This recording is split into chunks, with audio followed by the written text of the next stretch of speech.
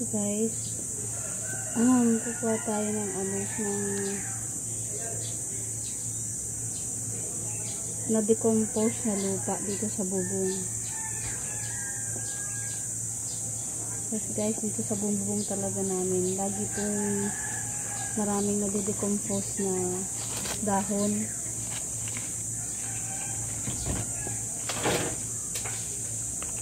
So habang nag ako po ay kumukuha ng na-decompose na lupa. May dalawang pakailan rin ko sa ano. Yan yung dami. Dami maganda as in. So sayang po. Pwede na natin pagtaniman to. So kung ano yung maganda natin gawin.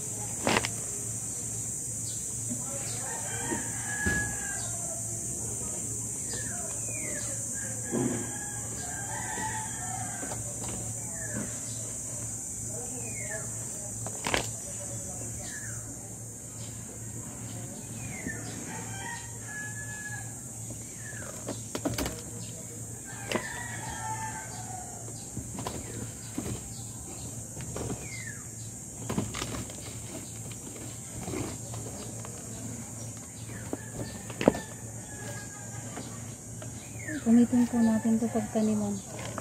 So magtatanim po ako mamaya. Hindi ko po kasi naiakit yung mga buto ko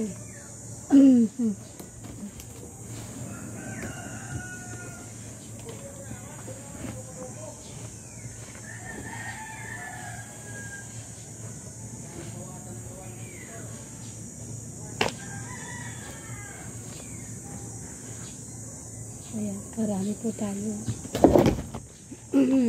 Isang puno po. Grabe ang dami, di ba? So, sayang. Ayan. Pwede po natin pagtaniman to later. Since wala naman po kong ginagawa, naisipan ko na naman po kunin na itong mga to